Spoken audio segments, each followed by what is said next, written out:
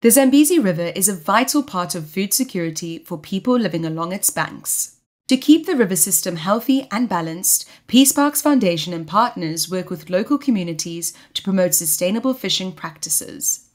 Here, Gordon crosses the Zambezi on his way to Zambia. We're at Kazungula. We're just uh, hopping on the sherry that's going to take us across. Give you a view.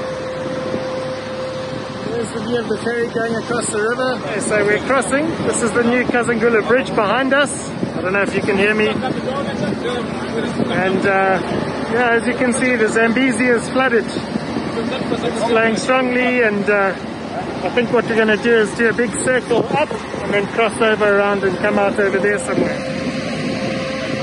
So quite an exciting little adventure crossing the river. I'm excited to be crossing into Zambia and uh, to see the Zambezi looking so good.